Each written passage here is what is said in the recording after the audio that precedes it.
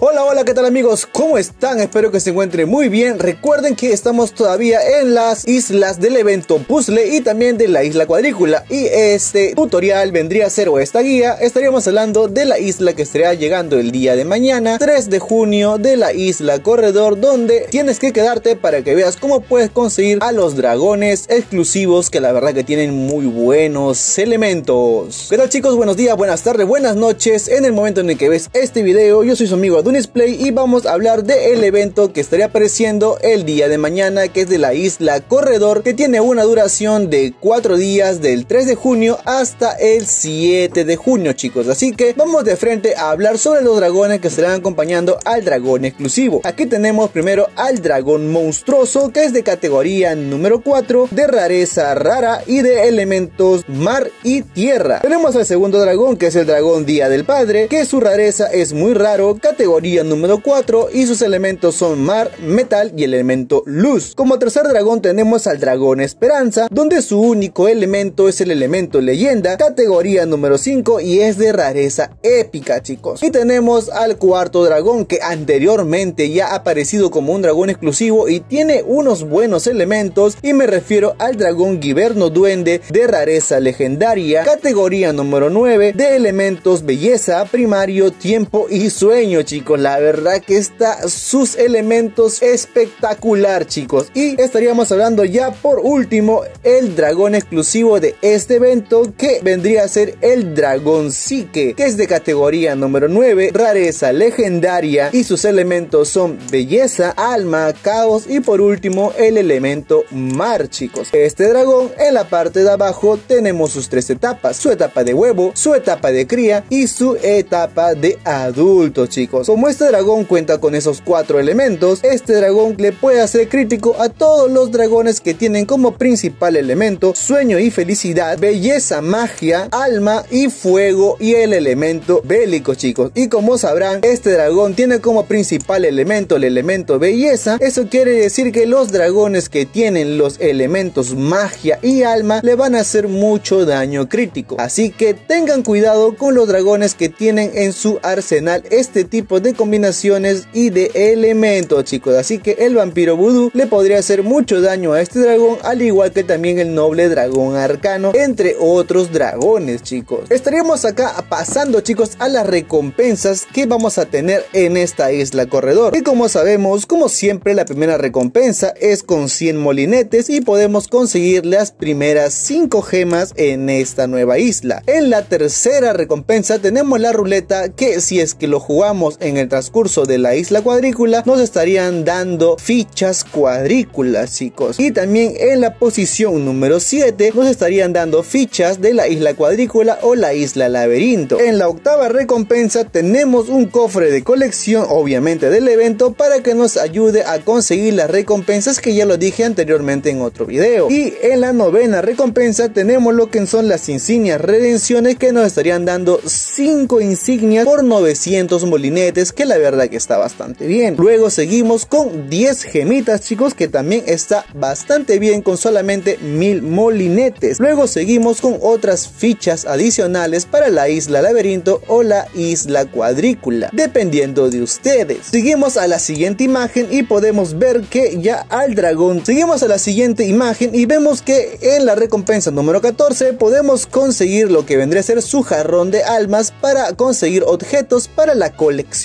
tenemos en la quinceava recompensa lo que vendría a ser al dragón alma. Y también tenemos en la recompensa número 17 más fichas de la isla laberinto o la ficha cuadrícula. Tenemos también recompensas como gemas, más fichas adicionales, comida y también en la recompensa número 25 tenemos otras 5 insignias redenciones chicos que nos ayudarían para conseguir y poder abrir otro cofre del ascenso de las nornas chicos. Así que está bastante genial y hasta el momento bueno vamos a conseguir 10 insignias redenciones, chicos. Vamos a la tercera recompensa y como podemos ver aquí en la recompensa número 27 con 4500 molinetes ya podríamos conseguir al dragón psique que es el exclusivo de este evento. Si llegamos a conseguir más molinetes, nuestra siguiente recompensa serían 20 gemas que no estaría nada mal. Y después de ahí chicos tendríamos otra vez más comidas XL, tendríamos objetos como cofres de la colección y por ende también en la recompensa recompensa número 35 tenemos 10 fichas ascendidas chicos. Con esto sería un total de 20 insignias redenciones que no estaría nada mal. Que básicamente necesitaríamos 6600 molinetes para llegar hasta esta prueba que la verdad que no está tan difícil si que somos personas bastante activas y conseguimos todas las recompensas tanto en la fase de pruebas como también en las misiones que tenemos que hacer diariamente. Y tenemos como por última recompensa esta última imagen donde ya aquí sí vendría a ser un poquito difícil tanto también para las personas ahí to win que tienen que invertir mucho dinero para llegar hasta estas recompensas. Que para ser sincero llegar hasta estas recompensas gastando los recursos como gemas y entre otras más yo creo que no vale la pena. Pero bueno tú eres el que decide si es que deseas llegar hasta esta recompensa número 49. Y bueno Dunis, ¿qué puedo hacer para conseguir más sellos de vuelo? Pues no te preocupes que aquí te voy a decir que comenzamos con la fecha 3 de junio. Aquí tenemos las misiones que tenemos que hacer. Como sabrán, siempre tenemos 3 misiones cada 8 horas durante el día. Así que el primer 3 de junio estaríamos recolectando comida, alimentando dragones y cruzando dragones, chicos. La segunda recolecta vendría a ser recolectar oro, recolectar comida y eclosionar dragones. Y la tercera y última del 3 de junio vendría a ser alimentar dragones, ganar batallas y cruzar dragones. Esas tres misiones vendrían a ser todo acerca del 3 de junio. El 4 de junio vendría a ser recolectar comida, alimentar dragones y eclosionar dragones. La segunda recolecta vendría a ser de recolectar oro, recolectar comida y ganar batallas de liga. Y la última del día 4 de junio vendría a ser recolectar comida, alimentar dragones y cruzar dragones. Recordar que por más que cruces muchas veces el ítem no te puede salir. Recordar que esta isla corredor vendría a ser como una pequeña mini carrera heroica. Así que si no te sale la, a la primera, ni a la segunda, ni a la tercera, no tenés animes y sigue tratando de conseguir esos ítems chicos porque sí es un poquito complicado de conseguir los ítems de manera rápida. En la fecha número 5 de junio estaríamos iniciando con estas tres misiones que vendría a ser recolectar oro, recolectar comida y eclosionar dragones. La segunda recolecta vendría a ser recolectar oro, alimentar dragones y recolectar comida. Y la última del día 5 de junio vendría a ser recolectar oro, recolectar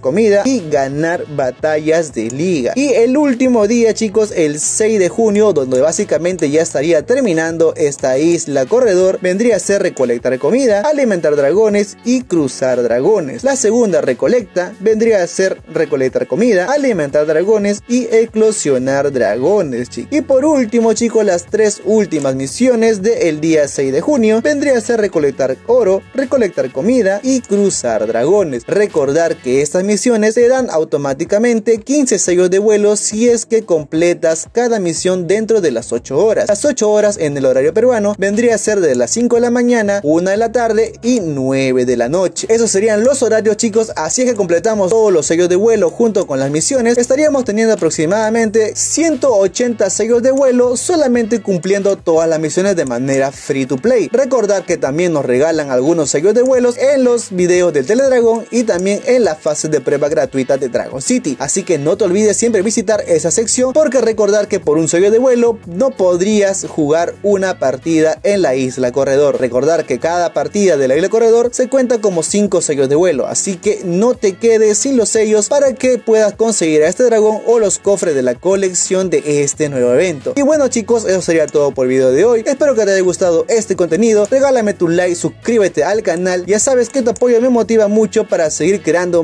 más videos así. Y si quieres apoyarme de una manera más económica, en la descripción vas a encontrar un enlace para que puedas ser miembro del canal. Tiene muchos beneficios como también sorteos exclusivos solamente para miembros del canal. No olvides también visitar mi página de Facebook como también mi página de Instagram que la vas a encontrar en la descripción de este video. Y bueno chicos, tengan mucha suerte y nos veríamos hasta la próxima. Chao, chao, chao, chao.